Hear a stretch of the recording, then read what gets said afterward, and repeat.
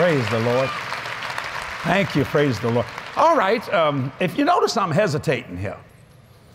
Because, see, this is the sermon that I wanted to preach right here. Boy, this is so good. But it ain't for you, so it ain't no use to preach the thing, for God's sake. the Lord began to change my mind. I said, Don't do this. I don't have notes. He said, Well, then you'll know how to preach. So, and I've done this before, but the Lord just told me to do this. So I'm going to just kind of preach out of my spirit. You may have heard me say some of these things. I have learned that anything I ask for, not some things. My theme this year is Your Everything is His Anything. And that's St. John chapter 14, verses 12, 13, and 14. He says, Whatsoever you shall ask in my name, that will I do. Why? That the Father may be glorified in the Son.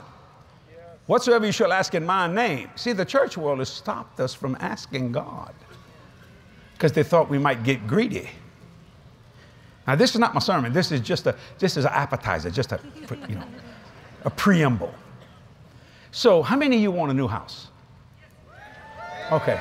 Now, some pe- people can think that's great. No, okay, put your hand up. How many want a new car? Watch this. Put your hand up. You know, if you don't ask God for that, you don't glorify Him. Because, see, it's a whatsoever. That's St. John chapter 14, verses 13. Whatsoever you shall ask in my name. Now you got to understand that power of attorney to use that name. That will I do. Why? That the Father may be glorified in the Son. And then he said, if you shall ask anything. Now, what does anything mean to you? Anything.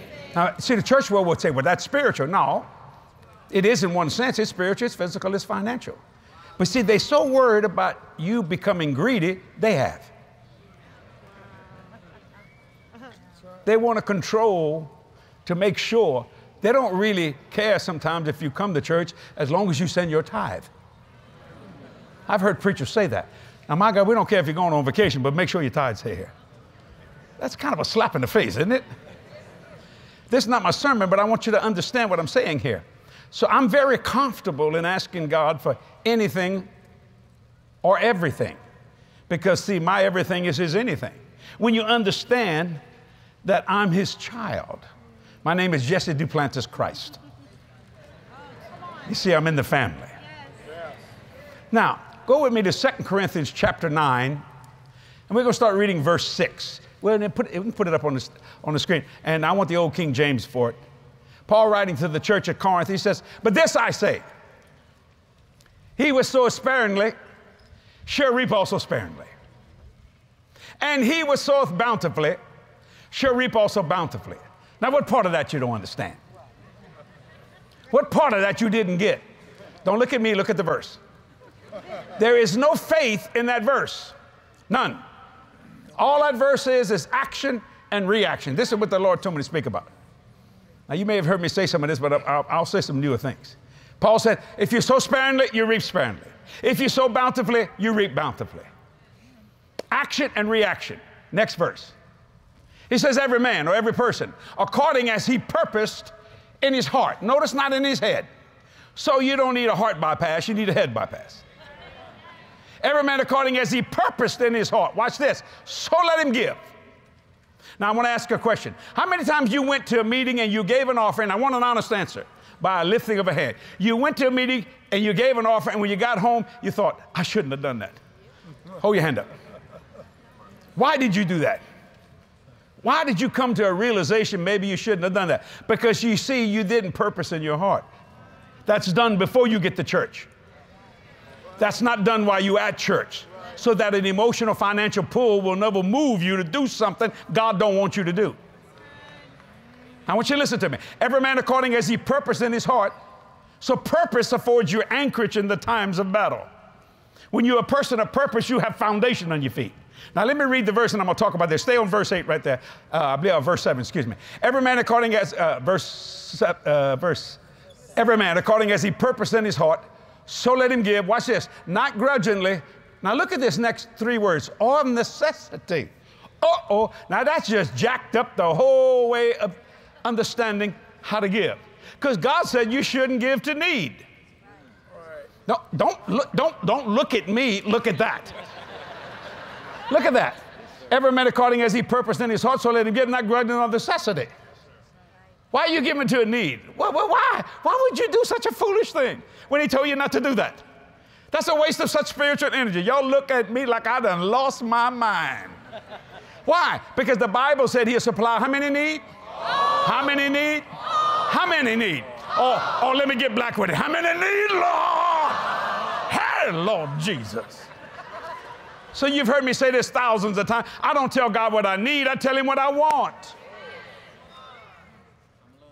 So then when you do that, you're not giving grudgingly, nor of necessity, for God loveth not like it, but he loveth a cheerful giver. Now, every man according as he purpose in his heart. When you're a person of purpose, it produces prayer in your life. Right. So prayer and purpose gets together and produces a baby named perception. So you can read that verse, put the, keep the verse up there. Every man according as he purpose in his heart, purpose, prayed, and perceived. Now, when purpose, prayer, and perception gets together, it produces another baby called power. So you could read that verse, every man according as he purpose, prayed, perceived, and powered. Now, everybody likes that power, but the problem is power can be very dangerous because you must be superior to it instead of driven by it. See, that's why politicians mess up and preachers mess up. They are driven by power instead of being superior to power. You've heard me say that. Let me say it again. Jesus was a man of great power. And, and they're all trying to kill him. I said this the other day, I, I got to repeat it. They tried to push him off a cliff. Jesus had enough of that. He just turned around and I'm going to paraphrase. You want to dance with me? You want some of this? Then he said, I can call more than 12 legions of angels to handle this situation. Now, and I said, I got to say it again. One angel in the Bible knocked down 185,000 men. So if 12 legions of angels would have showed up at the beck and call of Jesus, which he had, 20 billion, 400 million men would have bit the dust in one lick.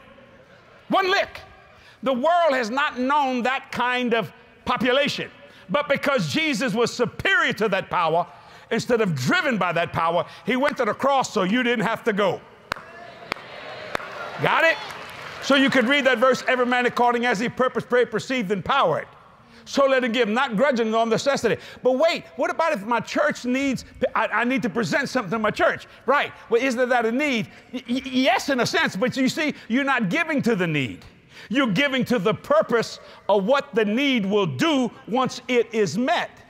So I don't tell God what I need, I tell Him what I want. So when you get up and say, We're believing God, uh, whatever, you, whatever you believe for your ministry, instead of a need, you say, and you're not giving to the need because the need gets old, but the purpose never does. You're giving to the, pur- I'm not spending this, listen to me. You're giving to the purpose of what that'll do once it is met. So, in other words, if you've done this before you get to church and your pastor gets up and said, We need to build a new building, instead of giving to a need, you go, Oh, yes, now I know why that was so strong on me. Because you're not giving to the need, you're giving to the purpose of what that will do once it's done. Are y'all getting this? I want you to notice how many times God says all, always, in all these verses. Go to the next verse now.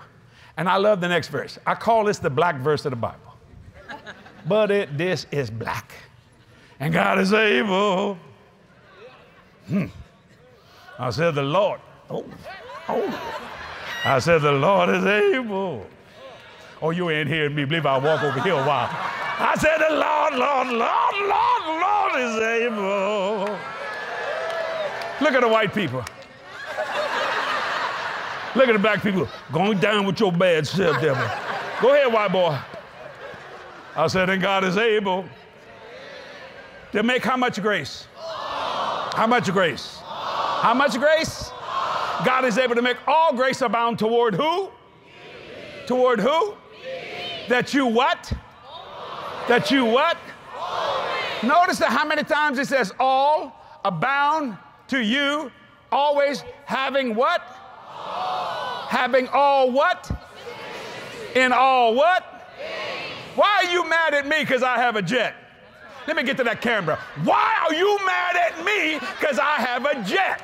All I'm doing is being biblical. Amen. What's your problem? Amen. I'm not being rude here. All sufficiency in all things. If things are so bad, why is God giving you all sufficiency to get it?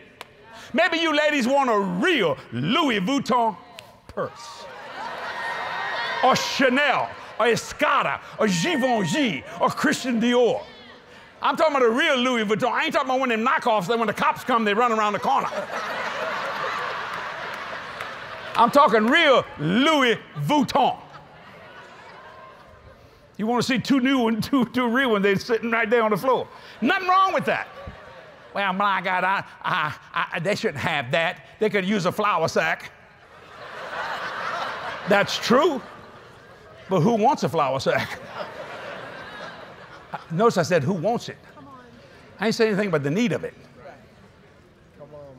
See, God is able to make all grace abound toward you, that you always having all sufficiency in all things. Now, can you understand why in 41 years of full time ministry, I've never had a financial deficit? You think it was because of my faith? Mm-mm. It was because of that. Ver- Don't look at me, look at the verse.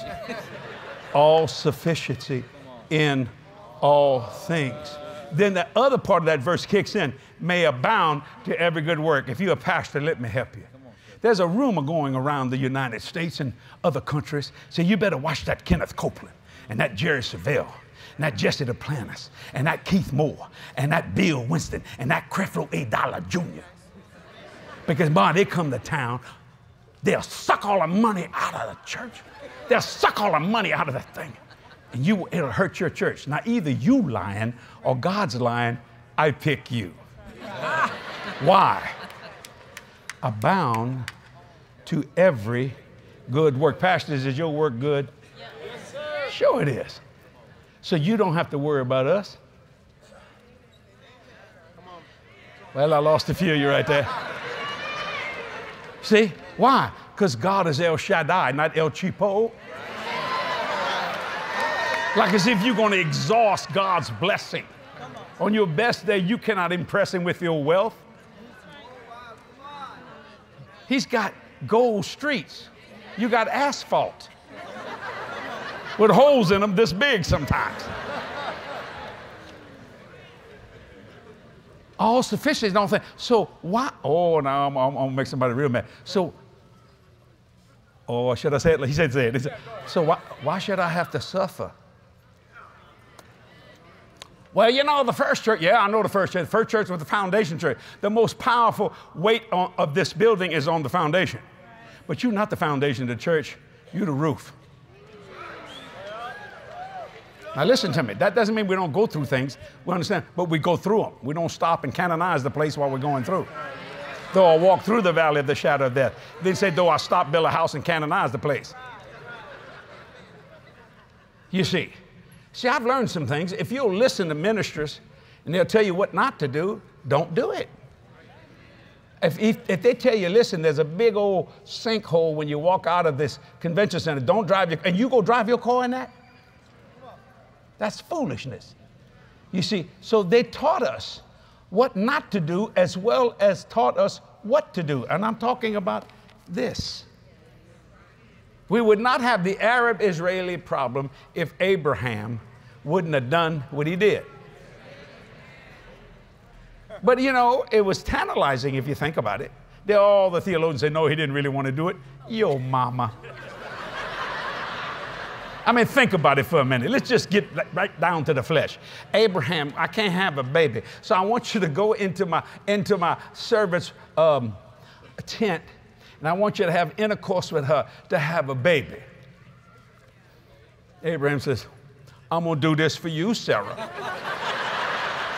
Any woman in the world would believe. You think you done lost your ever loving mind? He said, What's up, Hagar? And then when it all started going south, he didn't know what to do. You see, that was a mistake there. And God kept telling him through Sarah, will all the nations of the world be blessed? Yeah, but I, I'm getting old. Sarah's getting old. Have you seen her lately, Lord? Both her arms, when she prays you, the bottom of them do this.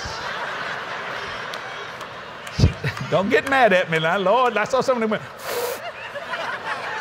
Just keep your arms down and praise God like this. That's all I can tell you. I don't know. I don't know why women worry about their arms anyway. Let me help you, lady. One time I hugged a woman. She said, Oh my God, I hope you didn't feel my back fat. I said, What did you say? I hope you didn't feel my back fat. Ladies, let me help you here. There ain't no man in the world saying, Did you see that woman's back fat? He ain't looking at your back fat, he looking at other parts. He could care less about your back fat. And if he does look at your back, it's a lot lower. I'm getting out of town this afternoon. I'm laying it on you. Look at Carolyn. You see what I'm saying? So God, okay, let me go on. And God is able to, to make all grace abound toward you, that you always having all sufficiency in all things, that may abound to every good work. It is written, He has dispersed abroad, He hath given to the poor. Now watch this. His righteousness remaineth forever. We had a little conversation in the back, me and Creflo. I said, Creflo, you're trying to explain that grace message. I said, let me give it to you in one sentence. He said, what's that, Jesse? Quit trying to become what you already are. That's the grace message. He went, my God, that's it. See, you, you don't earn this through the Mosaic law, you know, blah, blah, blah. Just quit trying to become what you already are. You are what God says you are. You see what I'm saying? Yeah, but I don't feel it. That don't make no difference. You are what God says you are. Sometimes you don't feel saved, but you're saved. Sometimes you do unsaved things, but you're still saved. You ask God, you repent of it, say, Lord, forgive me, I didn't mean to blow it like that. But you, you, I, you know, the old Pentecostal people said if you just slipped up once and you died, you went to hell. God's mercy and grace is far stronger than that. See, they're judging you, see. As it is written, He is dispersed abroad, so I have the ability to disperse abroad.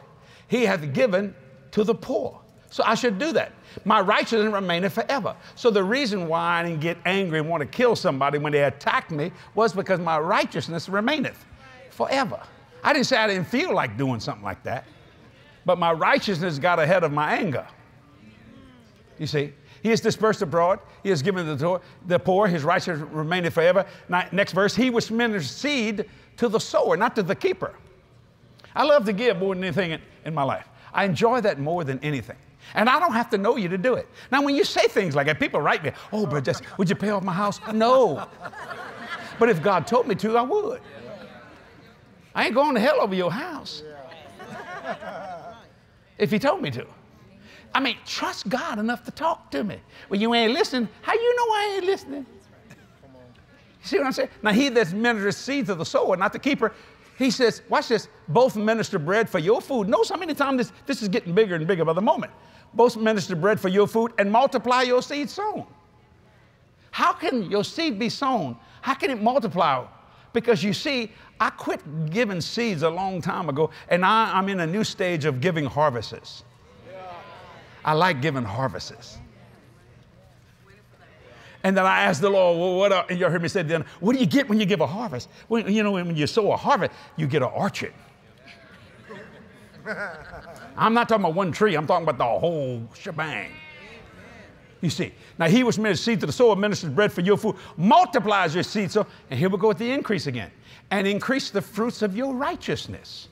See, God looked down and saw two boys, one named Jerry Savelle and the other Jesse Duplantis, in a nightclub.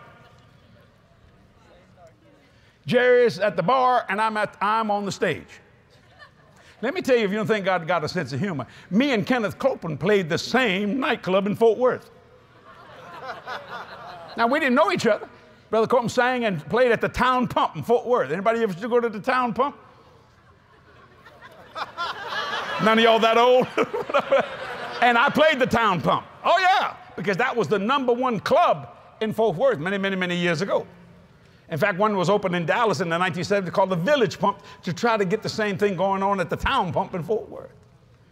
Isn't that amazing? Never think we'd ever preach together, much less be preachers. But see, God knows the beginning from the end. And I'm pretty sure most people thought that God could never use a Kenneth Copeland when he was singing Pledge of Love. or Jesse the Duplantis when I was playing all this stuff. And I mean, I'm talking the makeup and the, all the craziness and wow. And the, you know, and that hair just a slinging like that, and people screaming and hollering. Yet God saw something. What did he see? Watch this righteousness. Was I doing any righteousness? No. But see, God was calling those things that be not as though they were before I ever knew who He was. He was setting my future up even before I even knew I had a future. Do you see that? Let me say that again. Now, he that ministers seed to the sower ministers bread for your food, multiplies your seed sown, increases the fruits of your righteousness. Next verse, being enriched, not just rich, being enriched in how many things? Everything. Now, what does everything mean to you? Everything. Being enriched in everything to what? There's that word all again. All bountifully. Why do people get mad at me? Because I'm blessed in the city, blessed in the field, blessed going in, blessed going out. That doesn't mean I don't need partners in my ministry, but I'm just blessed. But I'm going to say something going to be so radical. This is so radical, it's going to blow your socks off. I'm believing God one day that I'll be the partner to you instead of you the partner to me. Let me tell you something. If that guy from Amazon can make that much money just at the planet skin too, I just got to have an idea, a concept, and an understanding how to do that. Sam Walton of Walmart. What a great idea he had. You know what his idea was?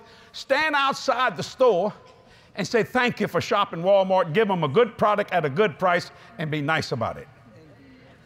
That was his idea. And an idea is the most phenomenal thing anybody can use in this life. It is the most richest thing. It can produce things beyond your wildest dreams. An idea. Being enriched in all bountifulness, which causeth through us thanksgiving to God. So if you notice, I never make an excuse for the blessing of God in my life. So when I'm being, um, you know, slammed by the media, me and Brother Copeland together. It's kind of nice that me and Ken are getting hit together if two of us agree. I mean, they nail him, then they nail me, and, and you know, this and that and all. They show us, I don't know where to get the pictures going out to the airport to get on the plane and all this kind of stuff. What they don't know, let me help you people. You helping me. One day I may buy your station, then you are going to work for me. I hope I like you. That's impossible. Somebody got to own that station. See, somebody got to own that business. Why does it always have to be somebody else and not you? Because most people tell you, including the church, that you can't do that because you might get greedy. That ain't greed, ladies and gentlemen. It could be growth. When's the last time a poor man helped you? The best thing to do, best thing for the poor is not to be poor so you can be a blessing to the poor. But you don't look down on people. Your money don't make you who you are. Your ideas does. What will you accomplish? What will people remember by you if you should die and go by the way of the grave? What legacy will you leave? If you believe what I just said, you everyone in this building will leave a legacy beyond your wildest dreams.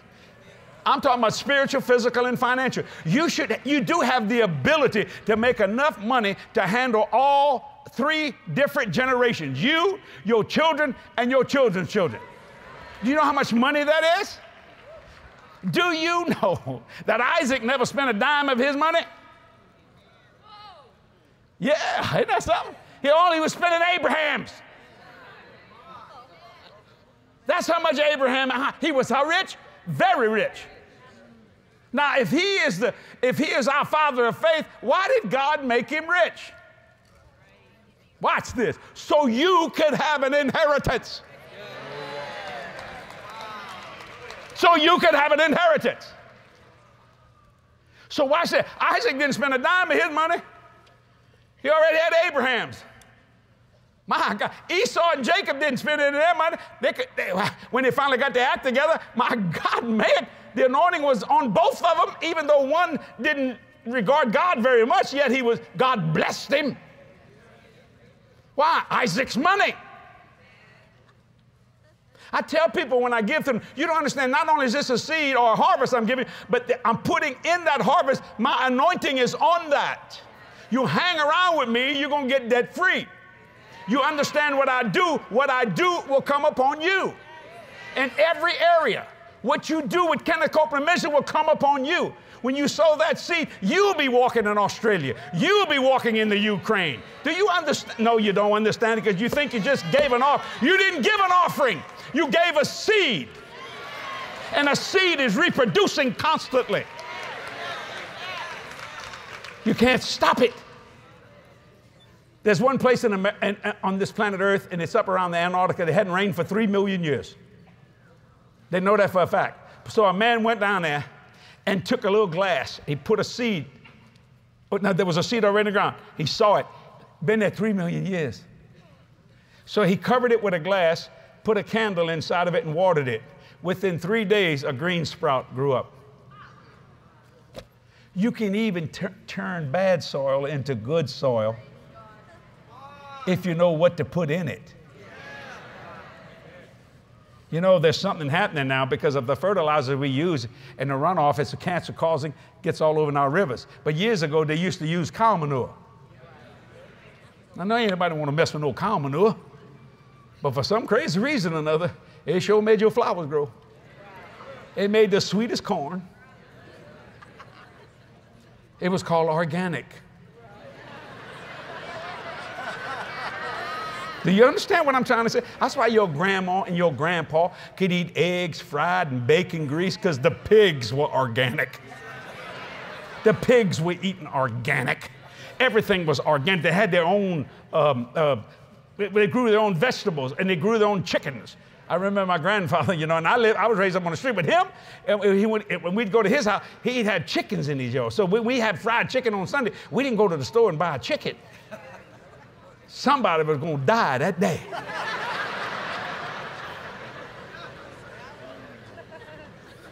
and he'd go out there and catch a chicken. And the chicken knew it. He was speaking in tongues. That's it. And, and we'd eat him. That's why they could live 70, 80, 90, and 100 years, eat eggs fried in bacon grease. because even the grease was organic because it was all homegrown.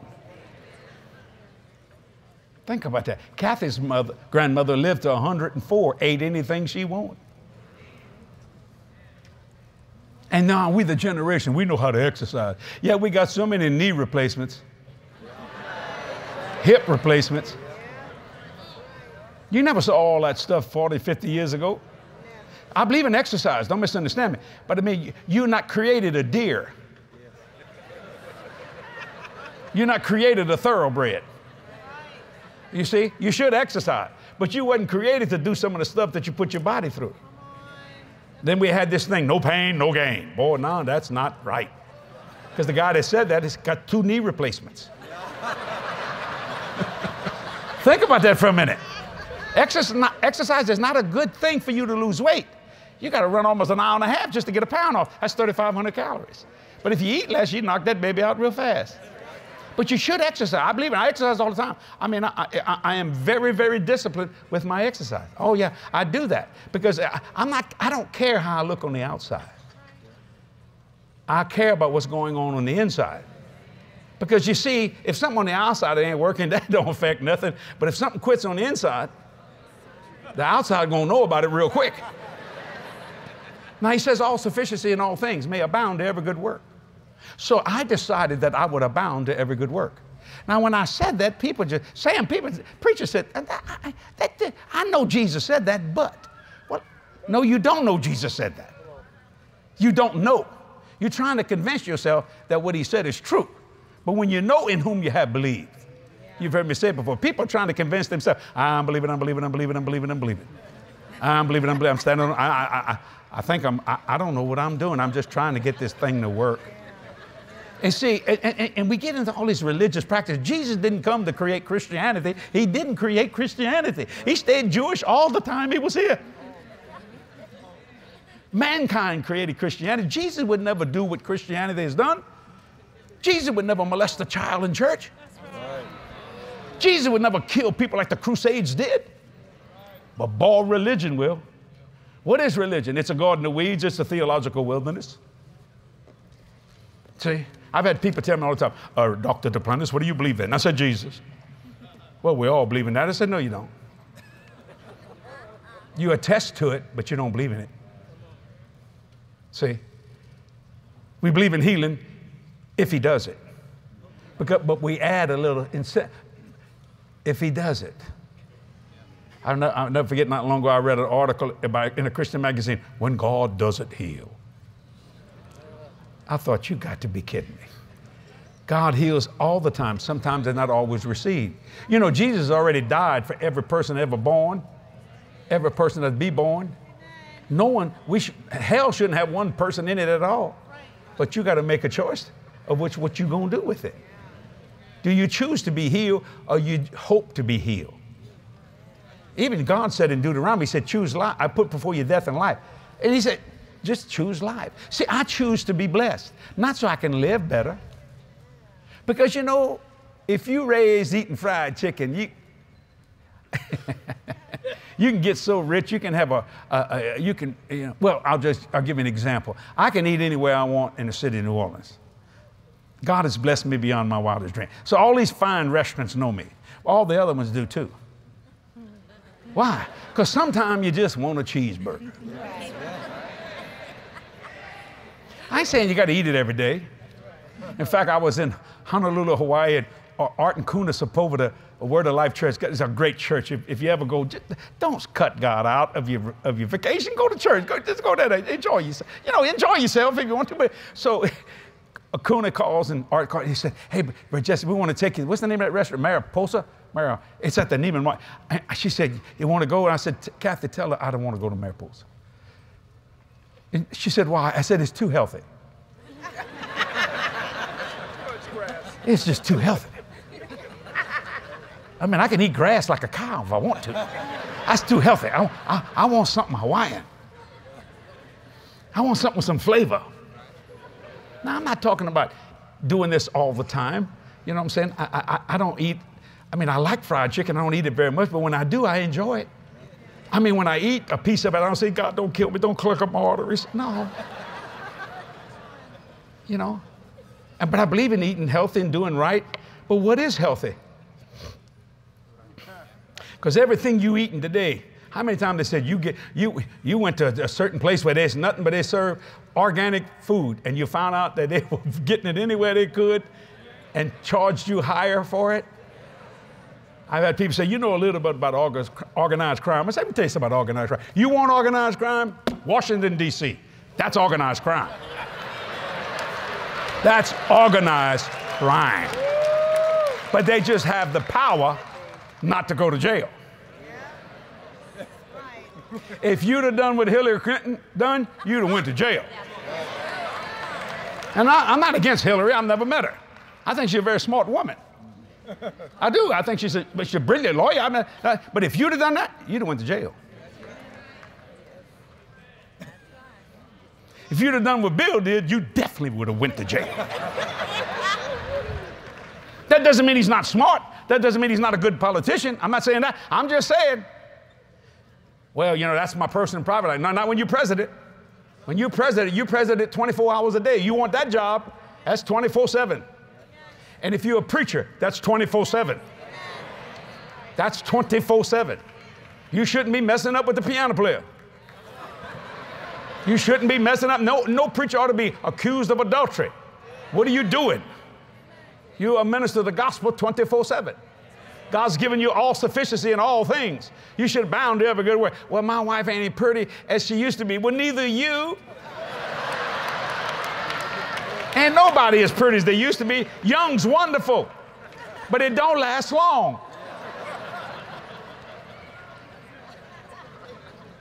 My granddaughter grabbed this the other day. Grandfather, what's this? I said, a safe deposit box that I keep your future in. now she sees that I'm a blessed man. She knows that. Finally, she came up to she said, Grandfather, how much money you got? And where is it? I want to see it. She's 11.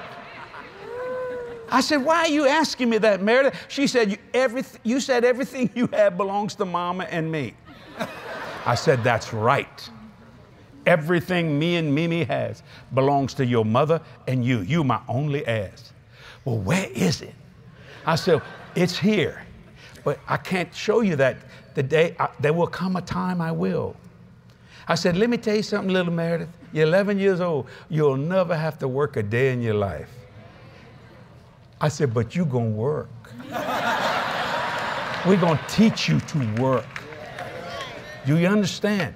And just because I've left you, uh, I've got you an inheritance, that doesn't mean you're better than anybody. You never look down on someone. Nothing. You don't do that. And I said, when you go in somebody's home, I don't care if it's small, big, whatever. You, if they love it, you love it. There's not, as long as you're out the rain, you know, you know, I said, you're going to work. We a generation that works. We believe in that. Now, there's some people, they don't, they don't want to work. Well, you're going to, somebody's got to do something. If, if they took all the money of every rich person in America, we'd only touch maybe, what, 3% of all, of, we got a $22 trillion deficit. And they always say it's unfair to pay our fair share. Whoa, whoa, everybody, excuse me. If you pay people to be poor, they're going to stay poor. That was Ronald Reagan's statement. Now, I know Jerry Savelle likes Ronald Reagan, and you know, I'm kind of, I think it's fun. I like Ronald Reagan. I went and visited the, uh, the White House. So I went to the White House little bookstore and I bought me a, uh, uh, an original Washington, D.C. White House photo of Ronald Reagan. And I wrote on it, Dear Jesse. I wrote, Dear Jesse, I can't thank you enough for praying for me and for helping me to win this election. This Isn't it? Without your prayerful and, and financial support, I would not have become president. I can't thank you enough. Sign Ronald Reagan. I put it in my boardroom. Cathy's mother came over. And she, walked, she went, and she liked Ronald. She said, My God, Jesse, you know Ronald Reagan? I said, Look at the picture. she read it. She goes, Wow, I didn't know you knew. He said that. I said, No, I bought it myself and wrote it myself. I thought it was funny. She didn't think it was funny at all, but I thought it was funny. Hey, it's my story. I'm going to write it the way I want to write it.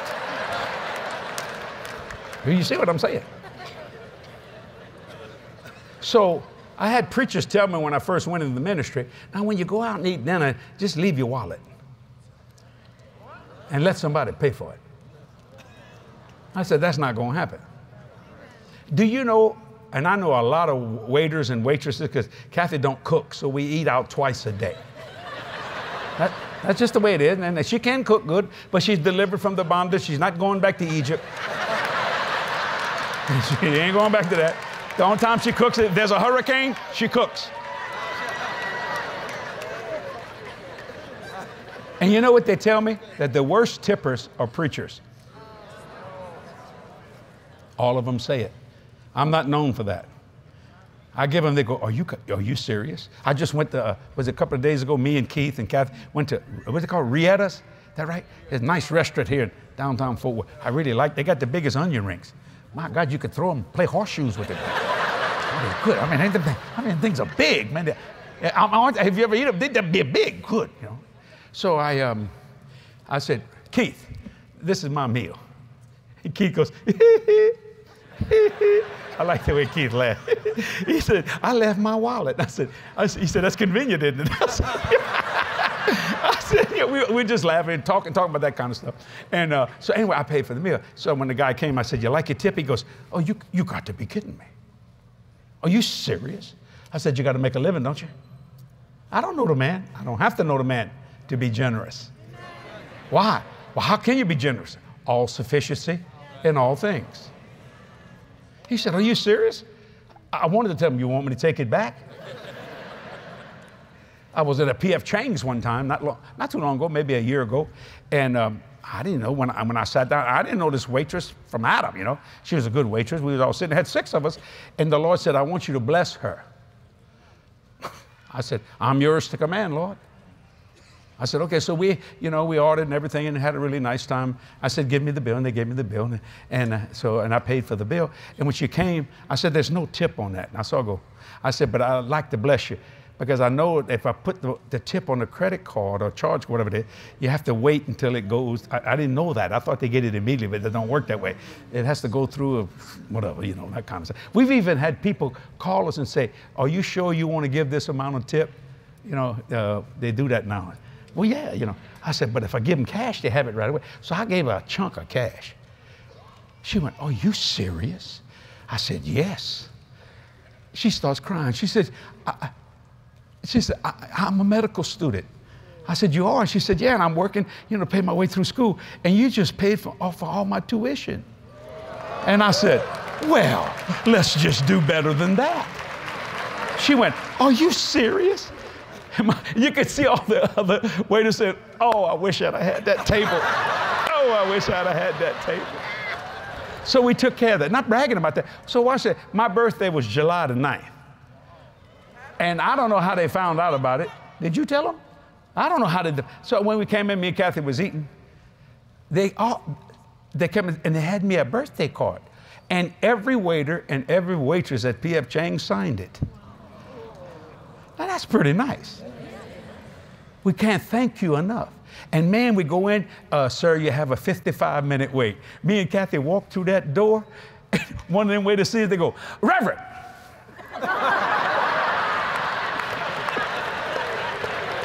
Watch this. That's, that's biblical. Every man gift make a way for itself.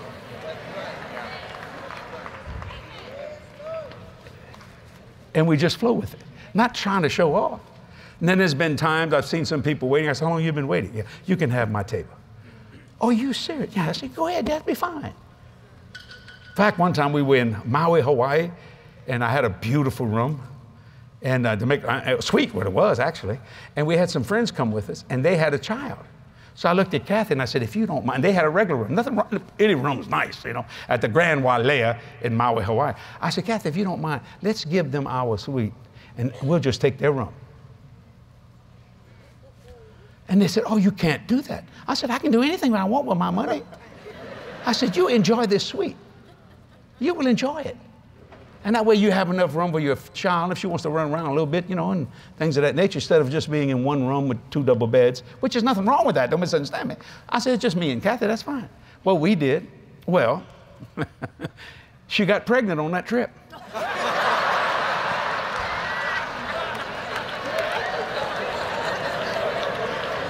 with a set of twins. That was a good room. Yeah, it was the twins. Was it? Yeah, it was the twins. I just went to dinner with them, Cathy. The twins are now 18 years old. I just went to lunch with them. I said, It was because of me you was born. I just went to lunch with them. I said, David, that, that's I said, would you like another room of mine? No, I, I, no. All sufficiency. All sufficiency. So I don't expect to be in a financial deficit. When I built Jesse Duplantis Ministries campus, if you ever seen it, if you ever been there, if you like plantation, it's all plantation. It's all white collar. It's southern, you know what I'm saying? It's all white collar. I had three banks in, in uh, New Orleans says, you cannot build this debt free. You're going to need us. I said, no, no, no. No, no, you don't know the God that I know. I'm gonna build this thing debt free and under budget. I even had the architect saying you can't do that. You got Italian marble in this place. You got very expensive. You can and the and the uh, contractor said I've been doing this 40 years. Uh, Jess, I, I, I don't think. I said just give me the bill at the end of the month. See, they thought I had all the money. I didn't. I had 1.2 million dollars, which ain't enough to really build, uh, to pay for one slab. And I built it under budget. Actually, six million dollars under budget. Why? Because I watched it. See, I've learned that other people can spend your money quicker than you can. So the Lord, I asked the Lord, and He asked me, woke me up at three o'clock in the morning. He said, I want you to go out to the property. I said, I don't want to go out there, Lord. He, said, I said, man, they got grass that high out there. Mosquito, we got mosquitoes big as pelicans in Louisiana. Know, I mean, yeah, we got yeah, mosquitoes, boy. They, they, they, see they see occasion, ooh, that Tabasco sauce. They just suck on you, you know. They just bite you and suck on you, you know, all kind of stuff. Well, to make a long story short, watch all sufficiency. The Lord said, How would you like for me to pay for this? It was my choice. He said, Now I can pay this every month. But I'm Jewish. I don't like to do that. I don't like to pay interest. I like to make interest. He said, Oh, I can knock this thing out. I said, Well, since we're talking, I thought I had God over about. I said, Since we talking, why don't we just knock this puppy out? And then he came back with this. Then we will never discuss finances on this whole project again.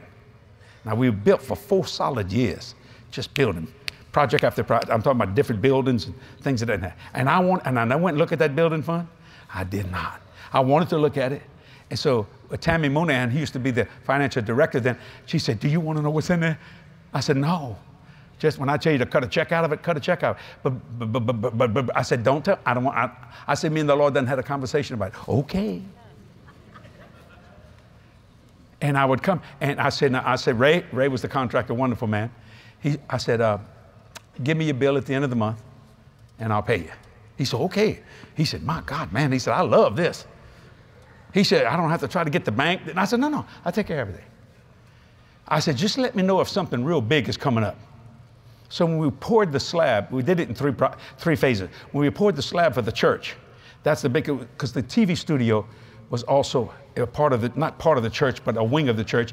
And that kind of slab, you got to be able to get under it. So we'd have to pour a lower slab and a higher slab, and then we would roll underneath there to put all kinds of wires and, you know, to hook up stuff like that, you know. That's expensive, very expensive to do, especially in Louisiana, because you have to drive pilings.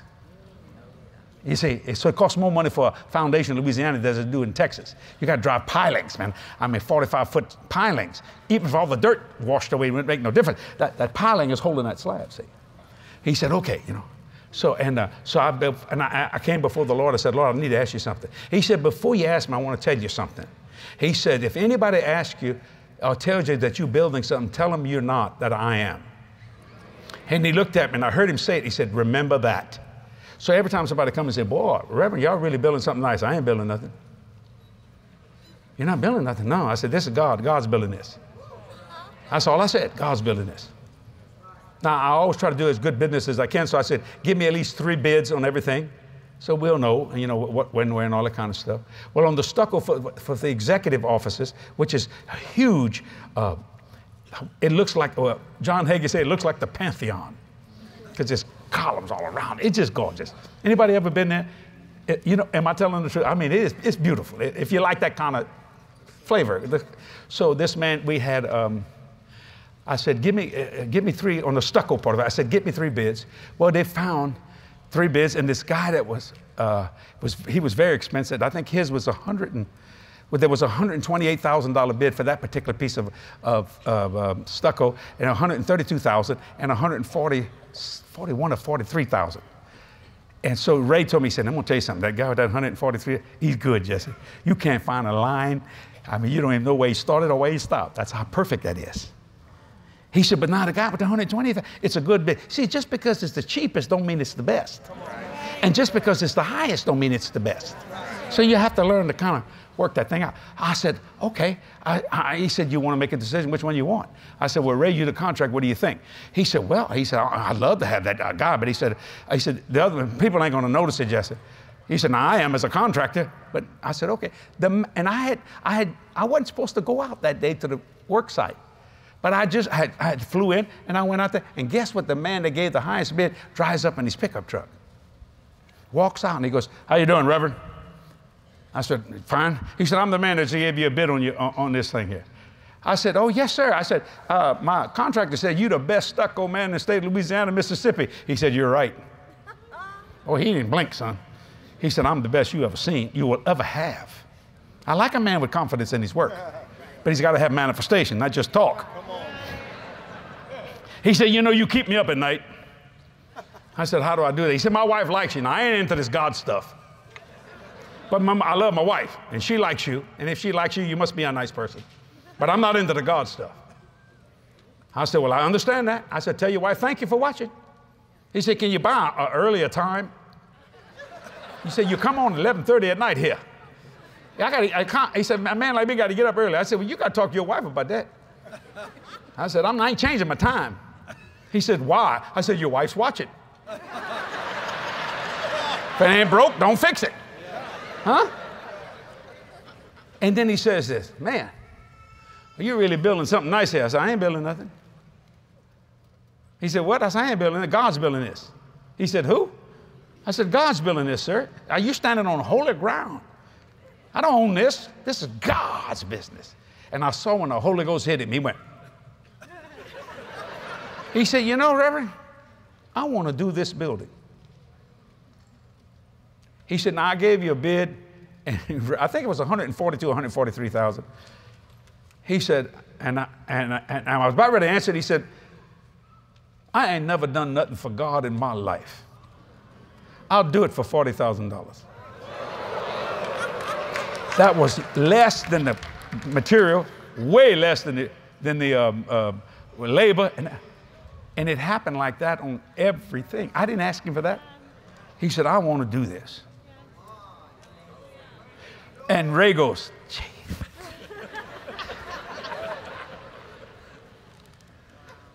that was on that. Now, when we built the first one, the production distribution center, what's all sufficiency in all things, being enriched. I used American steel, this is many years ago. So when the trucks came in with the steel, I would say, you, I, I tell one of the truck drivers, you're going back to your office? Yeah, well, bring this check to your office. Then he couldn't cash it, you know, it's made out to the company. Oh, you serious? I mean, it'd be a $250,000 check. So the president of the company couldn't get over that I'd do that. So in phase two, the steel on phase two was um, 389,000 just for the steel. So I gave the check to the, uh, one of the uh, uh, 18 wheeler guys. Well, then when we started building the church and the TV studio, just the steel was $600,000. I mean, you don't even see that part. See what I'm saying? So I'm in the, what I call the uh, con- contractor shack. He called it that, you know. And we get a phone call from the president of the steel company.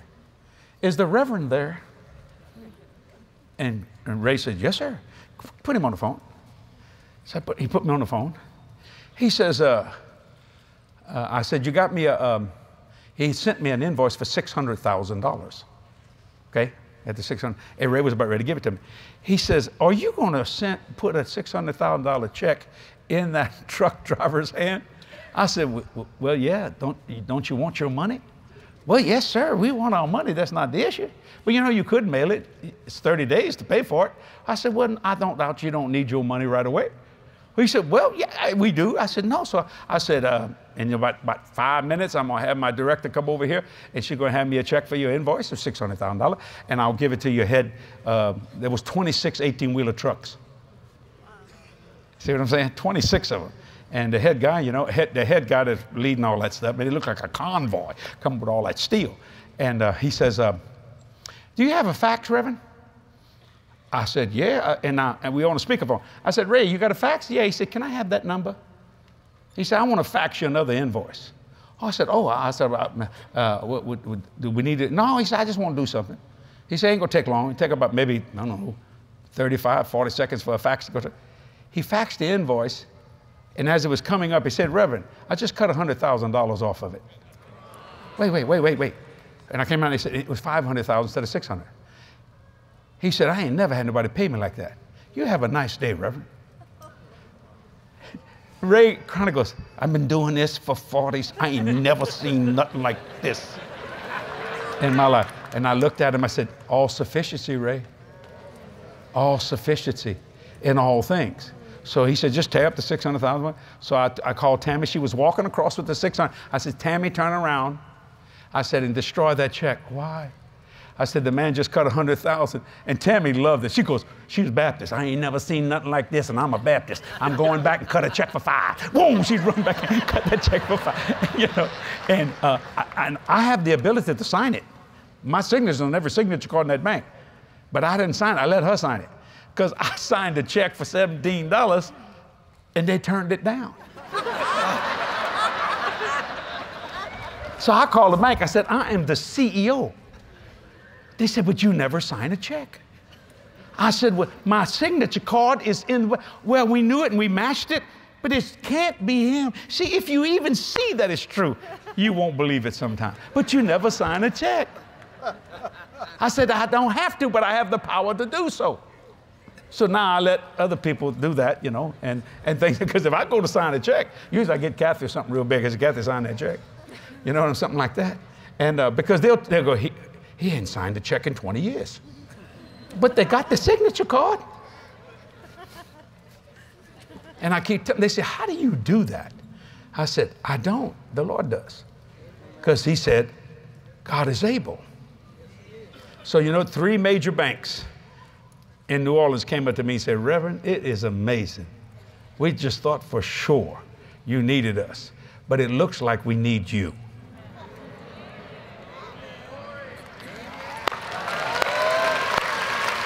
Now, Jerry Savelle would call that favor. And it is, don't misunderstand me. But what is happening is that's a better testimony to them than me walking up to them and say, Would you like to meet Jesus Christ as Lord of your life? They just can't get over that. Recessions don't affect me.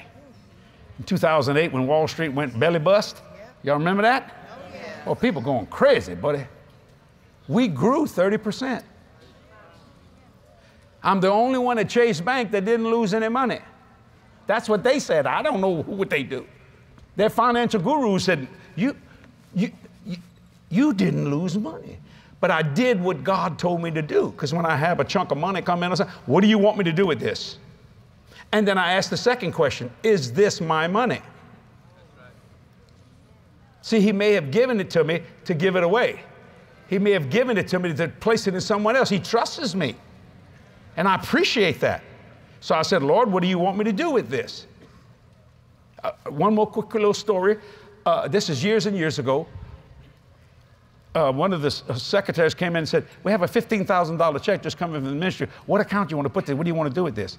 And, and, it was, and I said, and I, I, have, I was writing some stuff. I said, Well, just put it on my desk. I'll let y'all know in a minute.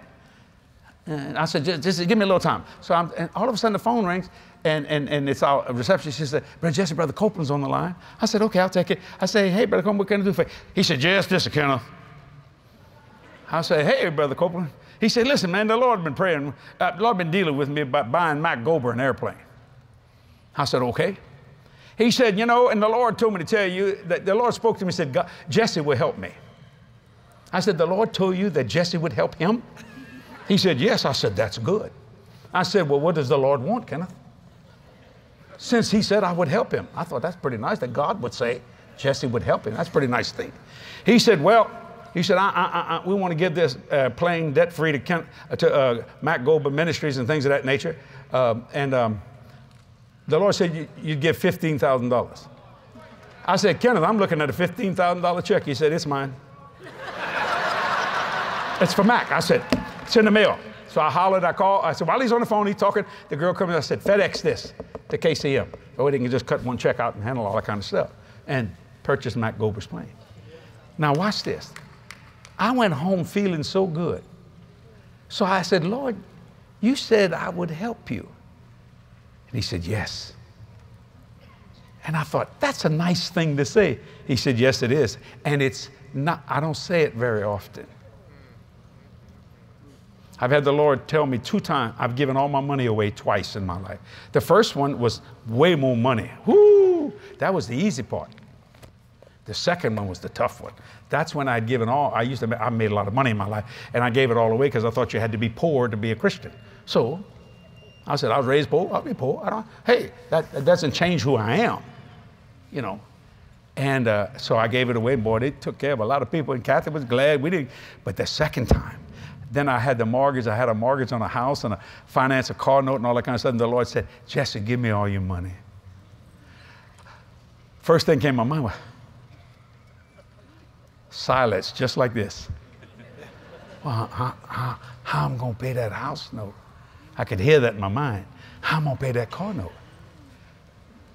And I, when I say all my money, I'm talking piggy bank. I'm talking everything. I'm talking, me and Cathy got zero. Everything we have in the bank, everything we have in a savings account, everything we have anywhere, plus change. Poured it out. I said, I'm yours to command, Lord. He said, You get ready, boy. He said, and he said the same thing to me that he told Abraham when he offered up Isaac.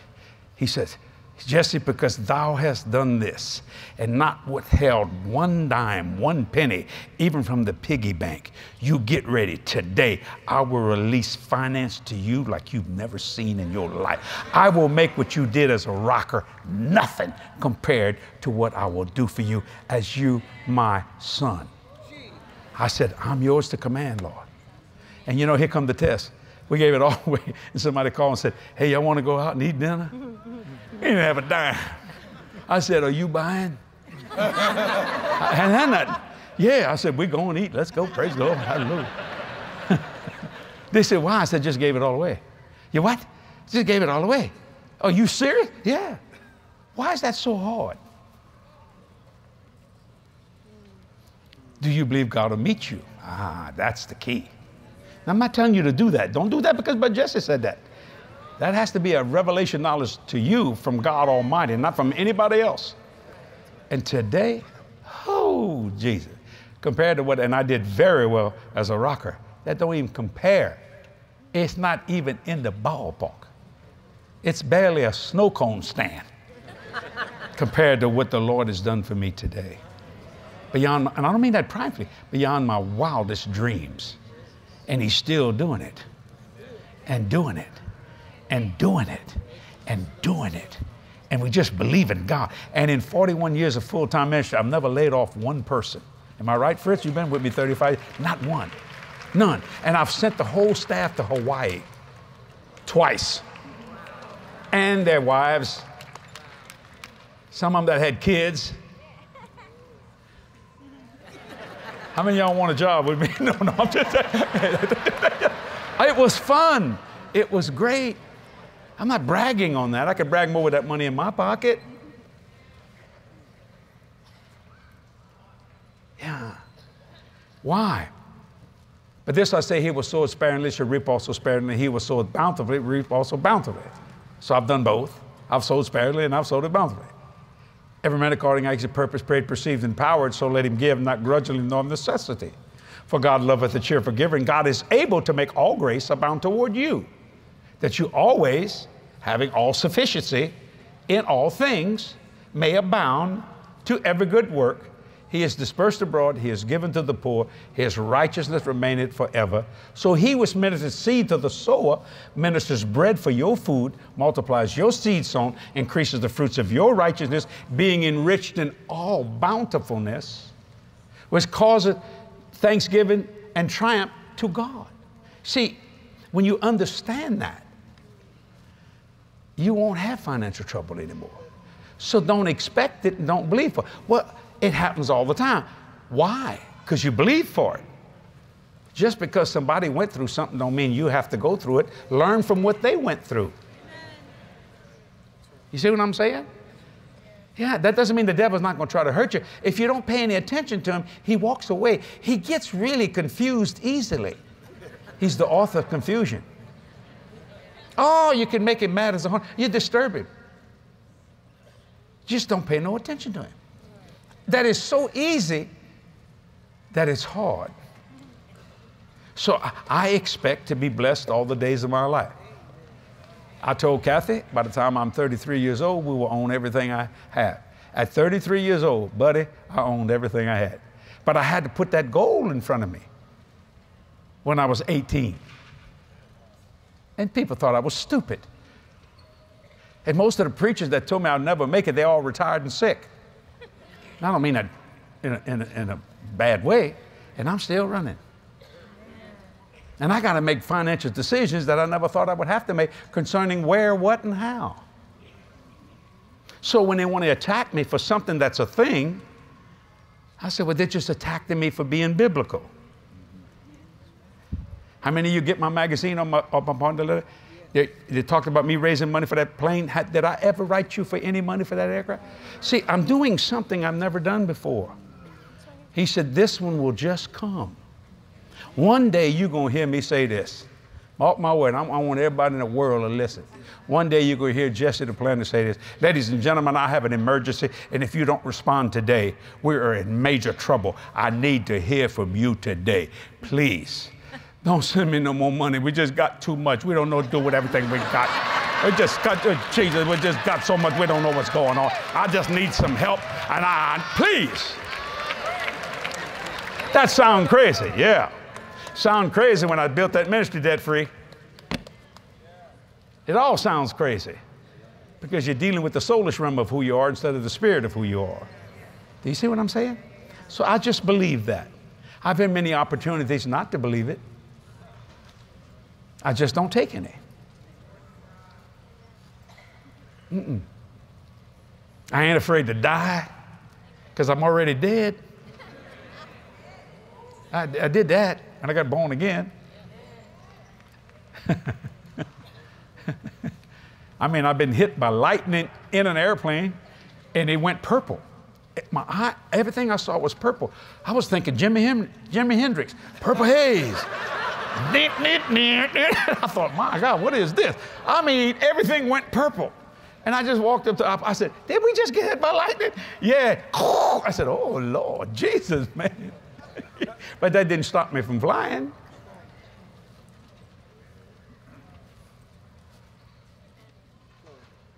I'm not going to let fear come in my life. What if you lost everything you had? What would you do? Start over. See, you can't take what's here. This, all this stuff is just stuff. And I know how to eat escargot, caviar, and I also know how to eat a cheeseburger. And it, I can go to McDonald's and just enjoy myself.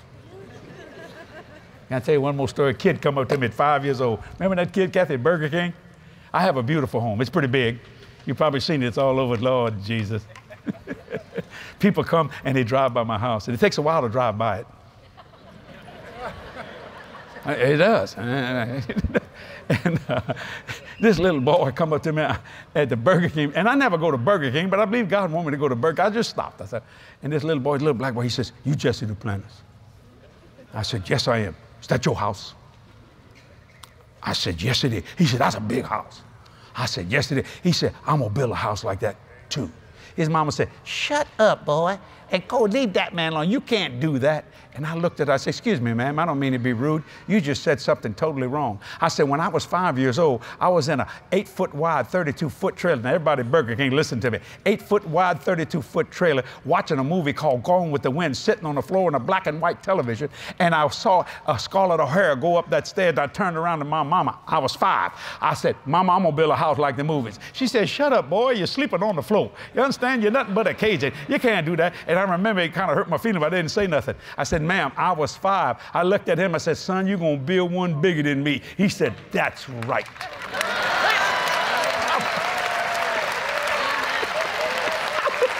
that little five year old boy. God gave it to me at five.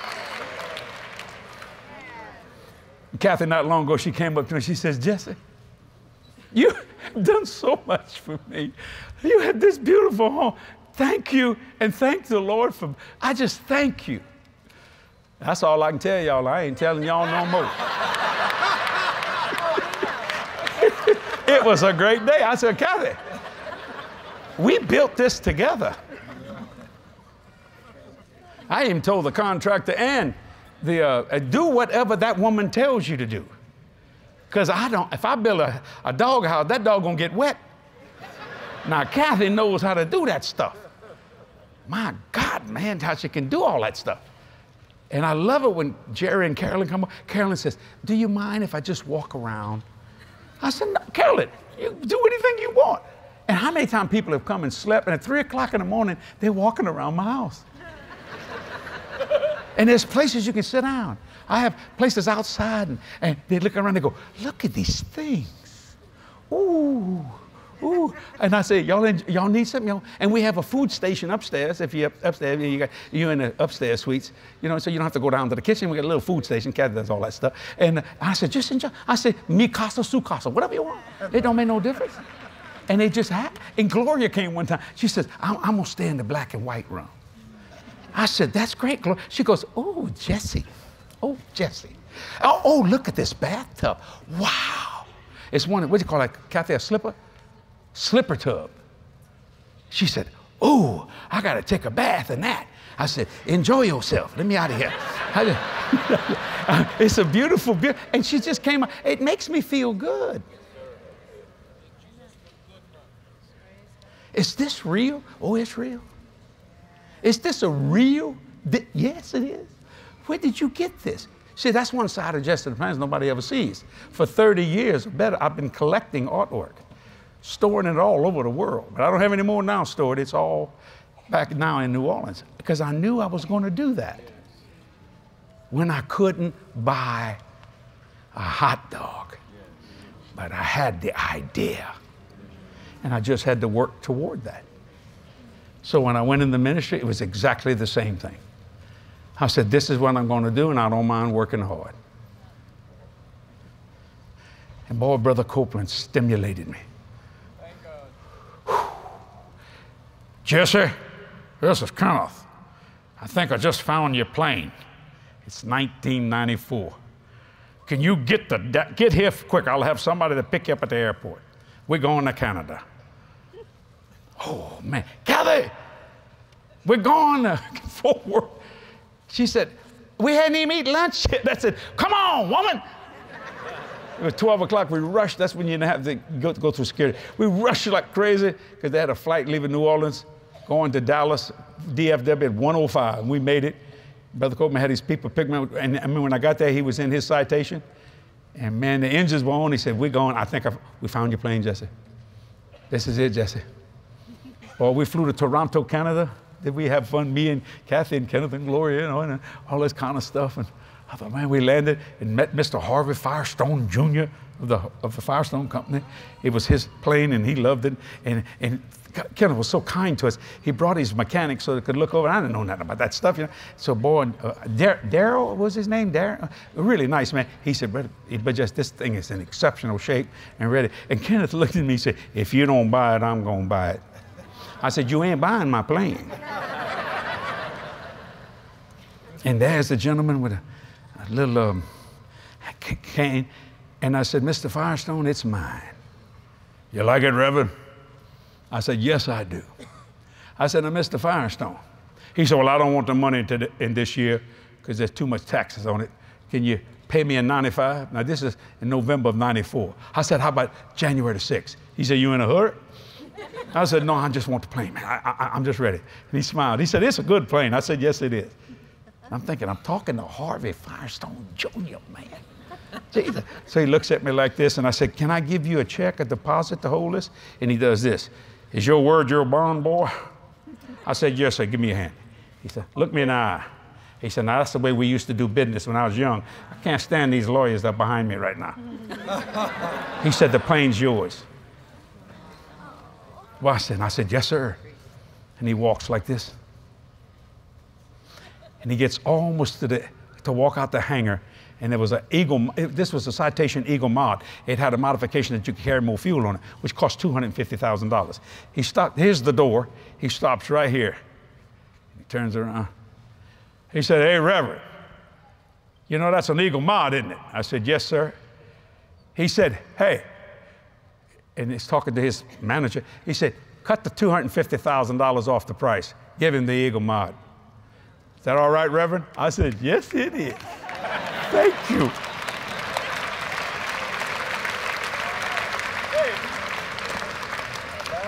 That was in November. January 6th, we took possession of it, flew it straight to a place to have the interior done. It cost $20,000. That's nothing today. But then it cost $20,000.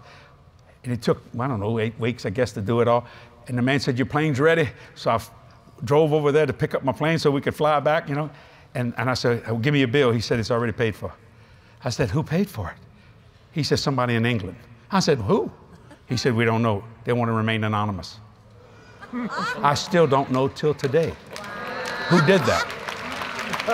See, God was ahead of me. How could you do that? All sufficiency in all things abounding. So when somebody tries to criticize that, I laugh at that. I said, You have no idea what God has done for me and what He will do. what He's done, what He's doing, and what He will do. So just let Him do it. How many of you are going to be so blessed by next year you'll come back and be able to bring a friend and pay for everything to eat and their hotel? How many of you like to do that? You'd like to do that? Because next year, the Southwest Believers Convention is going to be a phenomenal one. It'll be the 40th year. That's a celebration in itself. Think about that, that you would be able to bring a couple of friends and pay their hotel and their room and not hurting at all, just enjoy yourself. And go to Reata's and eat them onion rings so you can throw them like a horseshoe. I mean, think they're good. Just be a blessing. Think about that. I want to thank each and every one of you for allowing me a portion of your time. I want you to think about this little simple message all. So when the devil says you can't have that, God says, I can have all. You a liar, and God is God, so I'm not going to pay any attention to you. And God will honor you. Alors, thank you, Lord. One more thing. If you're a, co- if you're a college student, and the Lord says, This is the Holy, Holy Ghost speaking. If you're a college student, you've got college debt. If you're willing to believe me, saith the Lord, I will cancel your debt by December.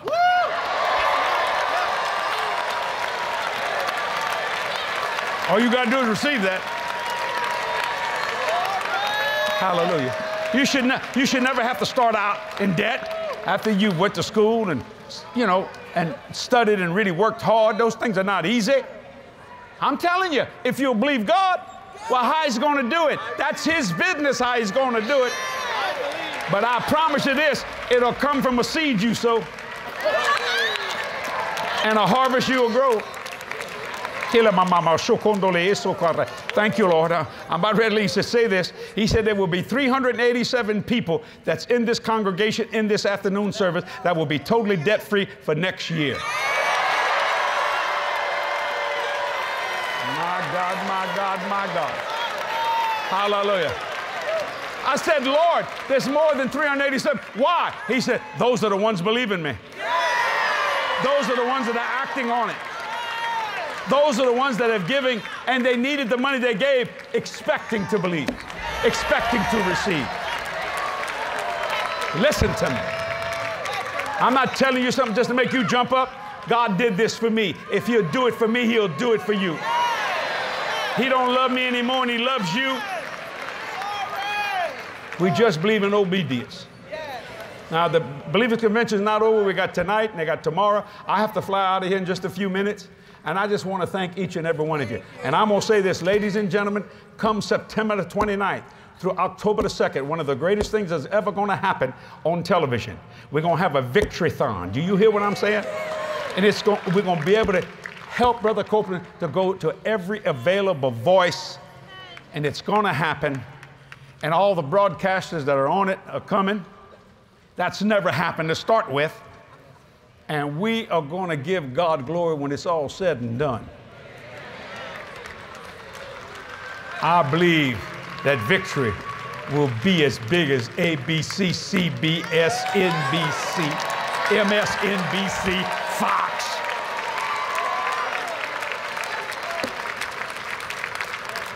You see what it is? It's a beginning. And what did God say in the beginning? You don't want to miss this. Put it on your calendar. September the 29th, October the 2nd. I'm so excited about it.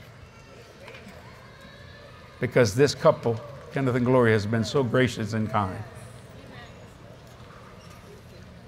Thank you. The Lord just said, it'll speed up my coming. Oh, man, I, it'll speed up my coming. Look at that, there it is. It'll speed it up. When the gospel's preached to the world, the end shall come. Brother Copeland, 82 years old. Most people have done retired, quit, went somewhere. Some, most of them have died. And not him, not Gloria. Ah, you hear what I'm saying? Maybe we this last generation. Just maybe, Stephen, you're the last man that's going to pastor the church you pastor. Because up in the sky, it's a bird, it's a plane. No, it's Stephen. Where's he going? Think about that, ladies and gentlemen. I pray for that every day. Oh, Jesus, come quickly. Not that I'm afraid to die. I mean, I ain't worried about that. I just want to go in that rapture. I can't wait to start my work in eternity. I will stand before that throne. I'm yours to command. Give me a job, Jesus. Let's go. There's a universe out there. He might put me over a galaxy. Where you going to live? New Jerusalem. Why? Huh. Beam me up, Scotty. I'll get there. You won't travel by the speed of light that's too slow. You'll travel by the speed of thought. You'll think, and you're there. Thank you. I'm starting to preach again. I can't help myself. It's been an honor and a pleasure. Please be, please be praying for us. Hallelujah. Thank you. Hallelujah. Remember, it's not over. The best is yet to come.